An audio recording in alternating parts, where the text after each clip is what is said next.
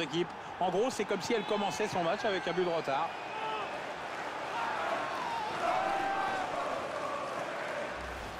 Ballon qui rentre, le gardien l'avait touché pourtant.